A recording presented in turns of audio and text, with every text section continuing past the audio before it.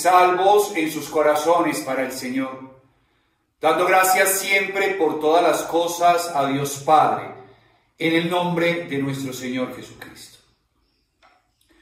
Queridos amigos, bienvenidos a este encuentro con Dios, a esta Eucaristía que celebramos en este martes.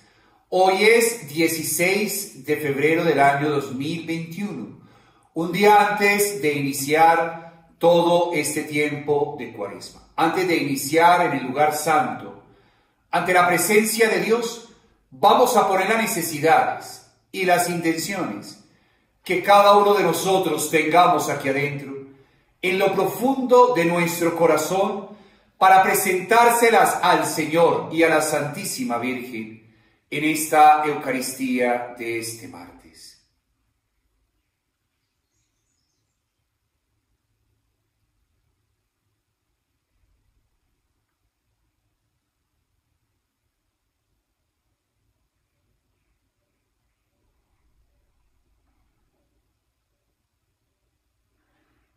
Junto con todas estas intenciones, queridos amigos, nos reunimos hoy con las compañeras de los almendros a orar por el eterno descanso de Luz Marina Ospina Macías. Muchas gracias a todos ustedes, bienvenidos.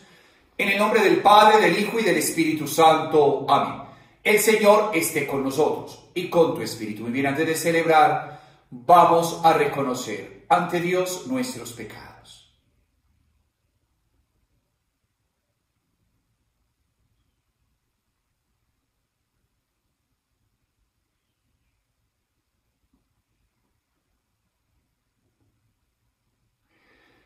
Señor, ten misericordia de nosotros, porque hemos pecado contra ti. Muéstranos, Señor, tu misericordia y danos tu salvación.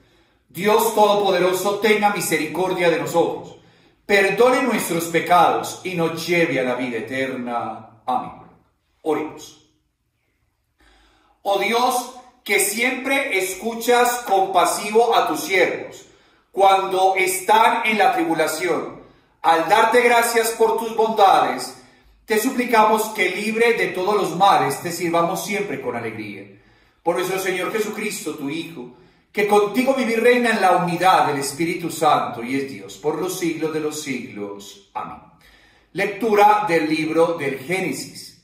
Al ver el Señor que la maldad del hombre crecía sobre la tierra y que todo su modo de pensar era siempre perverso, se arrepintió de haber creado al hombre en la tierra y le pesó de corazón. Y dijo, borraré de la superficie de la tierra al hombre que he creado, al hombre con los cuadrúpedos, reptiles y aves, pues me pesa haberlos hecho. Pero Noé alcanzó el favor del Señor. El Señor dijo a Noé, entra en el arca con toda tu familia, pues tú eres el único justo que he encontrado en tu generación. De cada animal puro toma siete parejas, macho y hembra. De los no puros, una pareja, macho y hembra. y lo mismo de los pájaros, siete parejas, macho y hembra, para que conserven la especie en la tierra. Dentro de siete días haré llover sobre la tierra cuarenta días con sus noches, y borraré de la superficie de la tierra a todos los vivientes que he creado. No hizo todo lo que le mandó el Señor. Pasados siete días vino el diluvio a la tierra. Palabra de Dios, te alabamos, Señor. El Señor bendice a su pueblo. El Señor bendice a su pueblo. Hijos de Dios, aclamen al Señor. Aclamen la gloria del nombre del Señor. Póstrense ante el Señor en el atrio sagrado. El Señor bendice a su pueblo. La voz del Señor sobre las aguas. El Señor sobre las aguas torrenciales. La voz del Señor es potente. La voz del Señor es magnífica. Bendice, Señor, a tu pueblo. El Dios de la gloria ha tronado. En su templo un grito unánime, gloria. El Señor se sienta por encima del aguacero. El Señor se sienta como Rey eterno. Bendice, Señor, a tu pueblo.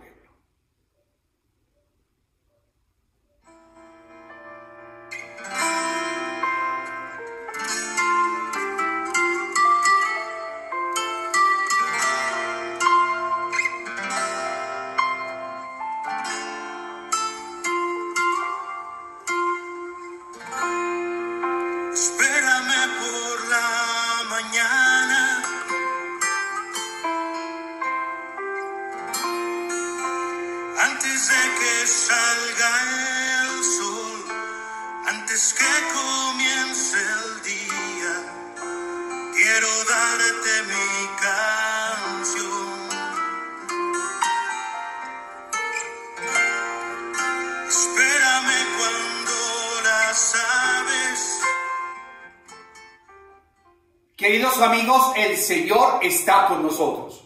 Proclamación del Santo Evangelio según San Marcos. Gloria a ti, Señor Jesús. En aquel tiempo a los discípulos se les había olvidado llevar pan y no tenían más que un pan en la barca. Jesús les recomendó, tengan cuidado con la levadura de los fariseos y de la de Herodes. Ellos comentaban, lo dice porque no tenemos pan. Dándose cuenta, les dijo Jesús, ¿Por qué comentan que no tienen pan? No acaban de entender tan torpes son. A ver, ¿cuántos cestos de sobra recogieron cuando repartí cinco panes entre cinco mil?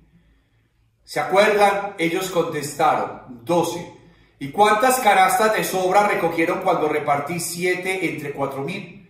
Le respondieron, siete. Él le dijo, ¿y no acaban de entender? Palabra del Señor. Gloria a ti, Señor Jesús. Y esa pregunta que dice el Señor en el Evangelio de hoy es la pregunta que resuena un día antes de empezar este miércoles de ceniza con todo esto que significa estos cambios y este miércoles de ceniza atípico frente a lo que ha pasado en la vida de nosotros desde el año pasado con todo lo que tiene que ver con la pandemia. ¿Y por qué digo que todo esto se sintetiza en una pregunta? Ustedes, le parece, dice el Señor, han entendido lo que significa esto. Y han entendido es que cuando uno se mete en el camino de Dios, uno no debe dudar nunca de la generosidad de Dios por cada uno de nosotros. El Dios que usted y yo creemos en la vida, mis queridos amigos, el Dios al cual usted y yo creemos en el corazón, es un Dios que nos gana en generosidad, hermanos. Por eso le están diciendo a los discípulos, lo que le estoy diciendo es que aléjense de las personas que los alaban o aléjense de las personas que no tienen la facilidad, sino que a veces lo alaban en el camino de fe, pero tienen la facilidad enorme después de hablar mal de ustedes. Por eso el Señor dice, aléjense de la levadura de los fariseos y la levadura de Herodes. ¿Saben por qué es tan importante eso? Porque uno tiene que entender en el camino de la vida que lentamente lo único que uno le interesa en nuestra vida es lo que yo haga cuando yo me ponga ante la presencia de Dios preguntarle a Él si lo que estoy haciendo está bien o no está bien. Y a veces nos quedamos más pendientes de los que qué dirán, de las personas, la aceptación social, de lo que significa esta vida, que a veces somos capaces, hermanos, de renunciar inclusive a nuestros propios principios por la gran pena de tener la posibilidad de que los demás nos acepten. Mire, cuando yo le estoy celebrando la Eucaristía a doña Luz Marina, Luz Marina entendió muy bien estas tres enseñanzas que nos dice la palabra de Dios hoy. La primera era una mujer que tenía una convicción total y absolutamente creíble en su corazón que Dios jamás le iba a fallar, le iba a fallar en ningún aspecto de la vida, ni en lo poco ni en lo mucho, que Dios nunca le iba a fallar, inclusive en los proyectos que ella hacía al servicio de su propia familia y al servicio de los demás. Y si ustedes se acuerdan, y lo digo porque estoy, porque siento la inspiración del Señor, como ella les decía a todos ustedes con la sonrisa en la cara, no dejen de creer en la providencia de Dios. Y todo les iba llegando, y todo a su tiempo iba llegando. Es más, se metía a hacer cosas y Dios la apoyaba en ese proyecto. Eso es lo primero. Lo segundo, fue una mujer excepcionalmente, una mujer de familia que hizo respetar su hogar e hizo respetar su hogar por encima de lo que las demás personas pensaran sobre su hogar. Y eso es lo más importante. Y les enseñaba a ustedes que por encima de todo lo que las demás personas podrían hablar sobre lo que uno hace o lo que uno piensa, que el capital más hermoso que uno tiene en la vida siempre será su propia familia. Y es ahí donde ella le enseñaba a cada personita, doña Luz Marina, que es lo más sagrado y lo más sagrado siempre se respete, lo más sagrado siempre se respete y se guarda. Por eso una de las cosas más maravillosas de ella es que los problemas y las situaciones que vivía en su propia casa solamente lo resolvía ella y, y, en la familia y nadie se enteraba. Es más, con la enfermedad fue una situación donde todo el mundo se volvió a mirar a una persona tan llena de amor, tan llena de misericordia en su corazón, pero sobre todo tan llena de celo por su propio hogar, por su propia familia y tercero, por sus propias amigas. Por las personas que me están viendo, compañeras del Colegio de los Almendros, que era una mujer total y absolutamente entregada por ustedes. Entregada para que se den cuenta que el problema de uno se convierte en problema de otro, oraba por los problemas de ustedes, aconsejaba de una manera impresionante. Tenía un don de consejo donde le quitaba la tragedia todas las cosas que se presentaban en el problema en el día a día de la vida y era una persona que les decía a ustedes algo que sentía en mi corazón, que dice la palabra de Dios en la primera lectura, que a veces nos olvidamos. Y es que los seres humanos tenemos un terror horrible por volver a empezar. Es un terror donde uno no, no, le, no, no quiere volver a empezar, que le gustaría más como seguir hacia adelante. Ese sería el ideal. Pero la bendición más grande que Dios puede regalarle a un ser humano es darle la oportunidad de volver a empezar, de volver a empezar en su vida de volver a reorganizar la existencia. Cuaresma es volver a iniciar, volver a empezar, es un tiempo propicio para volver a encontrarnos en las raíces de nuestro corazón y no le tenía miedo a volver a empezar, cuando le tocaba volver a empezar, por la razón que sea, con su enfermedad, con su vida, porque sabía que era el tiempo de gracia que Dios le estaba ayudando para hacer de ella la persona que siempre fue. Para ustedes, compañeras, un abrazo muy especial. Que el Señor los bendiga y gracias por recordar hoy a Luz Marina Ospina Macías que ya está ante la presencia de Dios. Bendiciones para todos.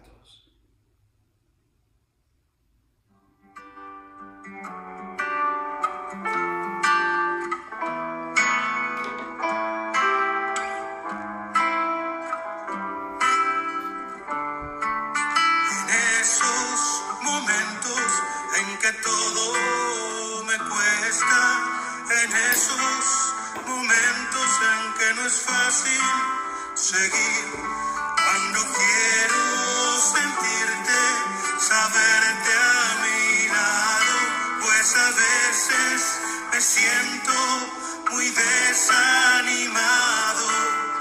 En esos momentos cuando todo se nubla, en esos momentos en que ni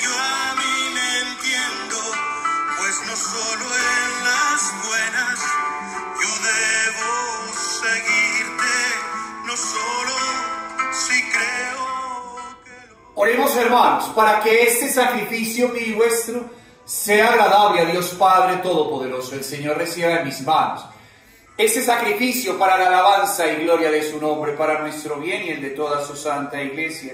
Señor, tú que nos diste a tu Hijo para librarnos de la muerte y de todo mal, no, te pedimos que, que recibas bondadosamente este sacrificio que te ofrecemos en acción de gracias, quien hemos sido librados de las adversidades.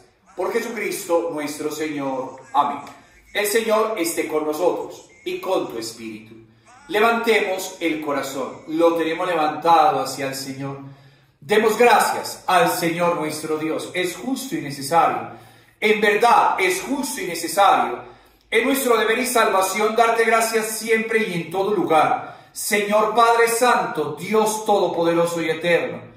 En él brilla la esperanza de nuestra feliz resurrección. Y así, aunque la certeza de morir nos entristece, nos consuela la promesa de la futura inmortalidad. Porque la vida de los que en ti creemos, Señor, no termina, sino que se transforma y al deshacerse nuestra morada terrenal nos, nos preparas una morada eterna en el cielo. Por eso con los ángeles y los santos proclamamos tu gloria diciendo, Santo, Santo, Santo es el Señor Dios del universo.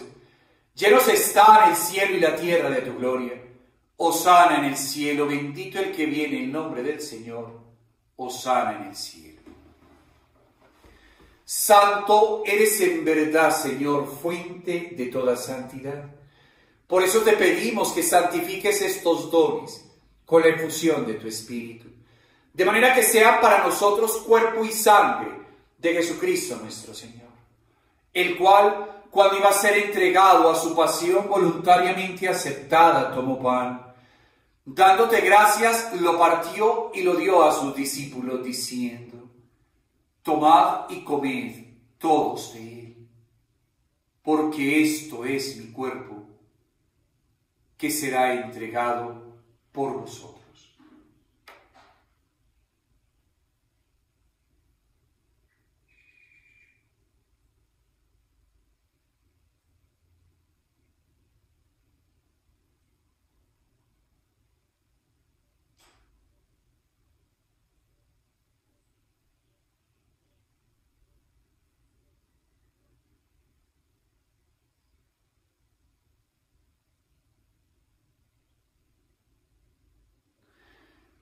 Del mismo modo, acabada la cena, tomó el cáliz. Dándote gracias de nuevo, lo pasó a sus discípulos diciendo, tomad y bebed todos de él, porque este es el cáliz de mi sangre, sangre de la alianza nueva y eterna, que será derramada por vosotros y por todos los hombres, para el perdón de los pecados. Haced esto en conmemoración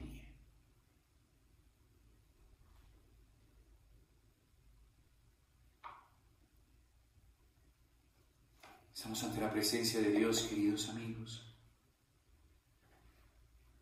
Hay una mujer que en vida nos enseñó el valor del amor, el valor de no dejarse llenar de adoraciones, el valor de respetar lo que amamos, el valor de ayudar a nuestros amigos, el valor de confiar en Dios, el valor de ayudar a las personas y demostrarles que volver a empezar no es malo. Cuando esos momentos en la vida pasan, es ahí donde uno tiene que alejarse un poco, uno siente la necesidad y de la mano de Dios uno va construyendo otras cosas en la vida. No porque las anteriores han sido malas, no. Lo que pasa es que Dios siempre quiere lo mejor para nosotros y siempre nos pide más. Estamos orando por una mujer que le quitaba las tragedias a los problemas, que se reía cuando alguna de ustedes, compañera colegio de los almendros, tenía un súper problema porque ella tenía la facilidad de ubicarlo y con un abrazo y una sonrisa uno sabía que las cosas iban a estar bien. Una mujer de familia, de hogar, con ese celo en su corazón de ayudar a las personas que amaba. Hoy estamos orando por ella le pedimos a Dios que desde el cielo ella siga intercediendo ante Él por cada una de las compañeras, amigos y todos los reunidos a través de las redes sociales de nuestra casa en Monticello. Oramos por nuestro querido pastor, el Papa Francisco, por nuestro querido arzobispo Ricardo y por todos los sacerdotes. Ten misericordia de todos nosotros. Y así con María la Virgen, Madre de Dios, San José, los apóstoles, Santa Teresita del Niño Jesús y cuantos vivieron en tu amistad a través de los tiempos, merezcamos por tu Hijo Jesucristo compartir la vida eterna y cantar tus alabanzas. Por Cristo, con Él y en Él, a ti Dios Padre Omnipotente, en la unidad del Espíritu Santo, todo honor y toda gloria por los siglos de los siglos. Amén. Fieles a la recomendación del Salvador y siguiendo su divina enseñanza nos atrevemos a decirle, Padre nuestro, que estás en el cielo, santificado sea tu nombre, venga a nosotros tu reino, hágase tu voluntad en la tierra como en el cielo. Danos hoy nuestro pan de cada día, perdona nuestras ofensas, como también nosotros perdonamos a los que nos ofenden, y no dejes caer en la tentación y líbranos de todo mal. Líbranos de todos los males y concédenos la paz en nuestros días, para que, ayudados por tu misericordia, vivamos siempre libres de pecado y protegidos de toda perturbación, mientras esperamos la gloriosa venida de nuestro Salvador Jesucristo. Tuyo es el reino, el poder y la gloria por siempre, Señor. Señor Jesucristo, que dijiste a los apóstoles, la paz os dejo, mi paz os doy. No tengas en cuenta nuestros pecados, sino la fe de tu iglesia y conforme tu palabra. Concédenos la paz y la unidad, tú que eres y reinas por los siglos de los siglos. La paz del Señor esté siempre con nosotros. Démonos fraternalmente un saludo de paz.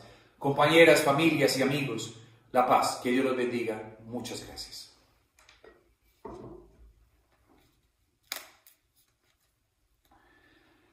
Queridos amigos, este es el Cordero de Dios que quita el pecado del mundo. Digamos, Señor, no soy digno de que entres en mi casa, pero una palabra tuya bastará para sanar.